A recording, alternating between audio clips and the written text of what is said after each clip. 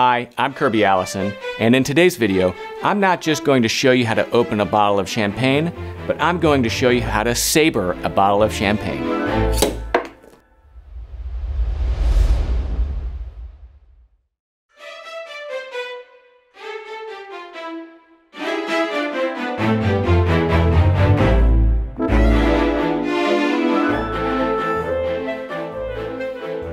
Now, black tie events are my favorite. And not only do I get to don my beautiful tuxedo, my Charvet shirt, put on a nice pair of cufflinks, my opera pumps, silk socks, dressed to the nines, but uh, a black tie event is an occasion for celebration, and with that comes the other accoutrement uh, that I look forward to just as much as dressing up. Now, on a proper or appropriate occasion, of course, that means champagne, and if you're really lucky, caviar. So in today's video, I'm going to talk a little bit about the accoutrement, if you will, uh, show you how to properly open a bottle of champagne, uh, discuss a little bit uh, some Petrossian caviar and why I think that complements champagne so well, uh, and have a little bit of fun opening the champagne, uh, not just as one would do normally, but if you are really celebrating, how to open a bottle of champagne with a champagne saber.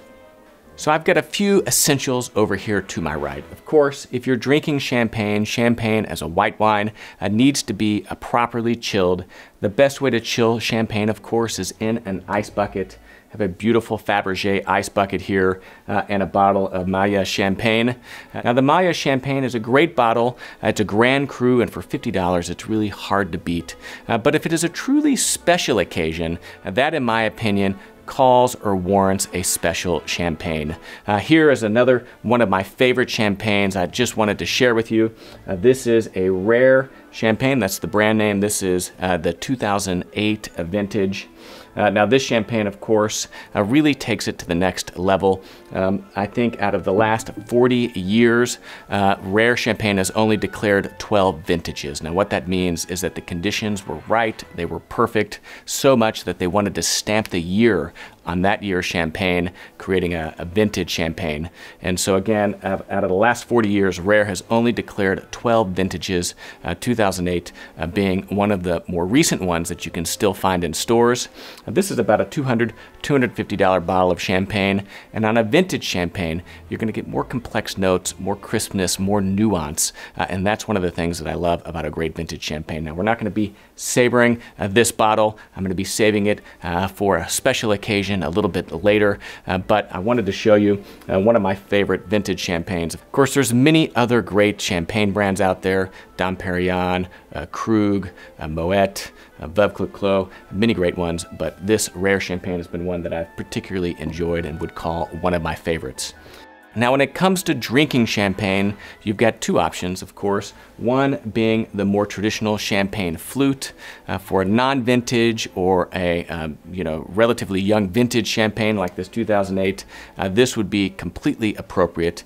Uh, but if you've got an older champagne, um, I would recommend uh, using an actual wine glass. So this uh, is uh, one of the Riedel hand blown glasses. Uh, you can see it's a large glass, and this is going to allow that champagne or the wine uh, to really open up and those nuanced flavors show through. So if you have anything that is older than 10 or 15 years, I would encourage you to try to drink it uh, out of a normal glass, uh, see how that works for you. I have to say, it's really profound just the difference in how the wine hits your palate between the different glass types types, uh, and they have a profound impact on how you actually taste and experience a wine, or in this case, champagne. So the next time you're drinking a bottle of champagne, I'd highly encourage you to have a little bit of an experiment, pull out a white wine glass and a champagne glass, and pour the same champagne into each try them and just see how differently they can taste. And then of course the caviar, uh, Petrossian caviar, synonymous with the finest caviar in the world. Alexander Petrossian is actually a good close friend of mine and he lent me uh, his uh, champagne saber uh, for today's video. Uh, but whenever it comes to caviar, I have to say I've really uh, grown uh, a profound appreciation for caviar uh, by virtue of what I've learned from Alex.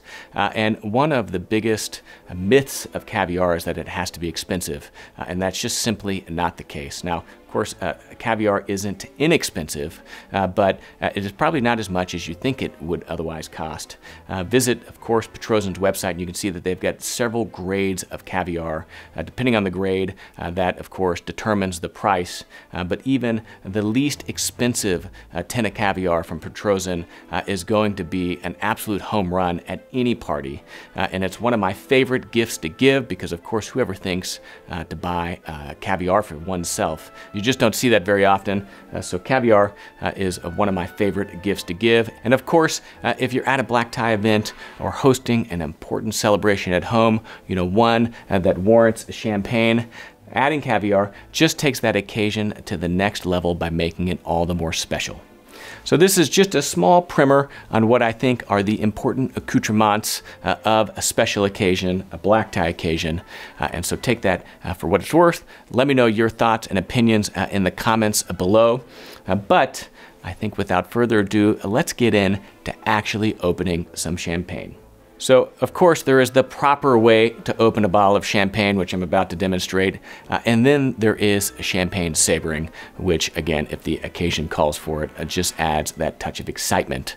Now, there is a right way to saber champagne and a wrong way, and by wrong, I mean that if you don't do it properly, it actually can be quite dangerous. So, if you're sabering your first bottle of champagne, uh, make sure you pay attention to that section of this video. Whenever it comes to sabering champagne, there are a few important rules that need to be followed in order to do it safely. Uh, first and foremost, your bottle of champagne has to be thoroughly chilled. Uh, if it's not properly chilled, you can actually have the entire bottle of champagne itself explode, uh, which could actually cause uh, serious harm to you or someone else.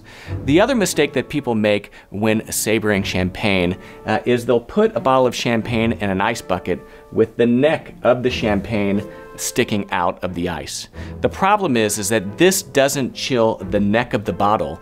If the neck is not properly chilled also, uh, the entire bottle of champagne can explode whenever you're sabering it. So my recommendation uh, is that you chill the entire bottle of champagne in ice. Uh, if you don't have an area to lie down the entire bottle and submerge it in ice, my recommendation would be to put the bottle of champagne into the ice bucket upside down 15 to 20 minutes before you saber it to ensure that the neck of the bottle is properly chilled. It is the absolute most important thing that you can do to ensure that you don't hurt yourself or someone else when sabering a bottle of champagne. Next, when it comes time to saber your bottle of champagne, course, the best way to do that is with a proper champagne saber. Uh, yes, they make them. Uh, this was lent to me by my good friend uh, Alex Petrossian. As you can see, uh, this is from Rare Champagne. Uh, it may look like a knife, uh, but the blade is actually dull. You do not need a sharp blade in order to uh, saber a bottle of champagne. If anything, uh, you're probably going to ruin that edge. And so if you're using something like a kitchen knife, uh, I'd recommend turning it backwards and using the dull end of the knife itself to do the sabering. You can use almost anything to saber a bottle of champagne so long as it has a flat, strong edge. Uh, and I really do mean that. Uh, you could easily saber a bottle of champagne with a butter knife uh, like this. I've even done it with my cell phone. Let's talk about the proper or ordinary way to open a bottle of champagne. Uh, I've got this chilled bottle right here. Uh, it's been chilling in the refrigerator. Uh, first is, of course, every bottle of champagne is going to have a foil cover on the neck simply look for where that opens, which is, so simply look to see where that opens, right? Peel this off.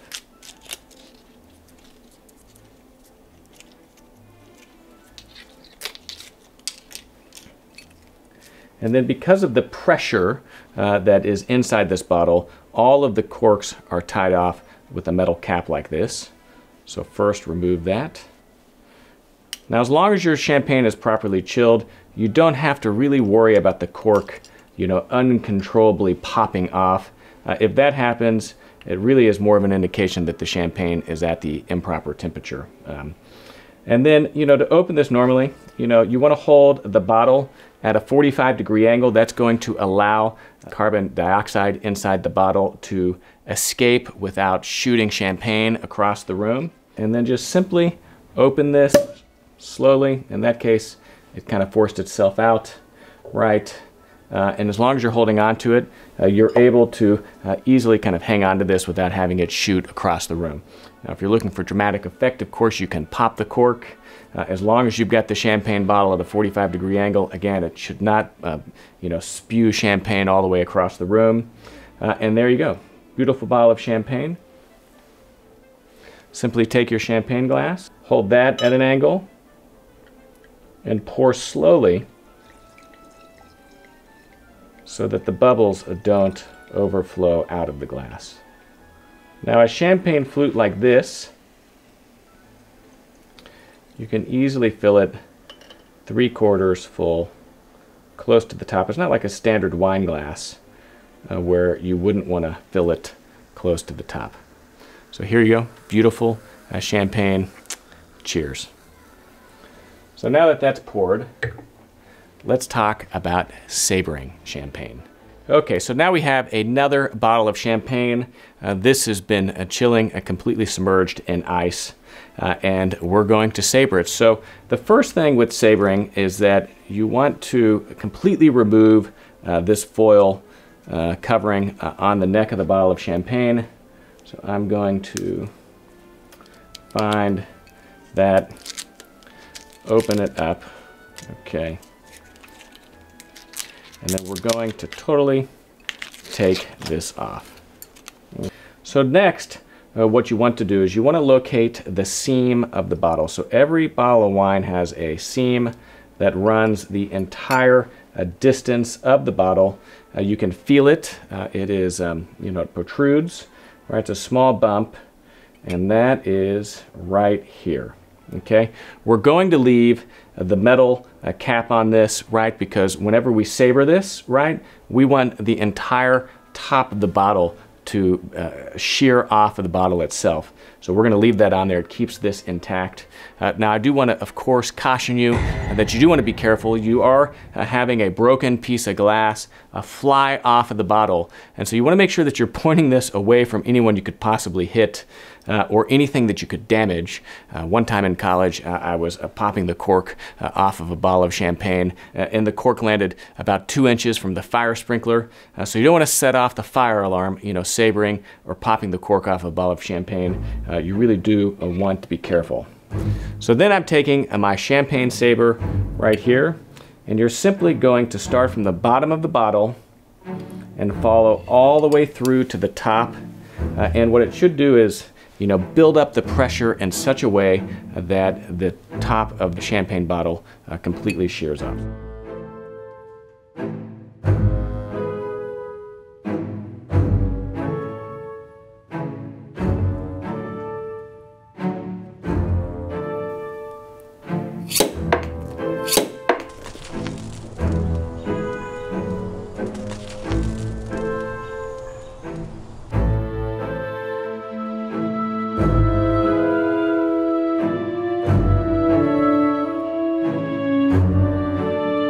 There you go. So when sabering champagne, of course, a little bit of champagne is going to come out. Uh, let's let this settle down, but you can see, you know, the top of that bottle has been completely uh, sabered off of that. Now, as long as it's clean, it's safe to pour, uh, and so there's no reason uh, you can't uh, take your glass of champagne and top off so there we have it. Uh, this is a how to uh, properly, or as your mom might say, improperly open a bottle of champagne. Uh, but whenever it comes to a proper black tie event, uh, if the mood is right, uh, there is no better way to open a bottle of champagne. certainly no more impactful way to do it than by sabering it. Now, if you haven't visited KirbyAllison.com, uh, please take a moment to do so. Of course, it's the best way to support the content that we film here on this channel. Uh, there you'll find the largest collection of luxury garment care and luxury shoe care accessories in the world, as well as other great clothing accessories for the well-dressed, uh, like this sovereign grade bow tie I'm wearing, this fil de bouche pocket square, uh, even these studs, silk socks, and so much more you can find online at KirbyAllison.com course, I'm Kirby Allison, and I love to help the well dressed acquire and care for their wardrobes while exploring the world of quality, craftsmanship, and tradition. Thanks for watching.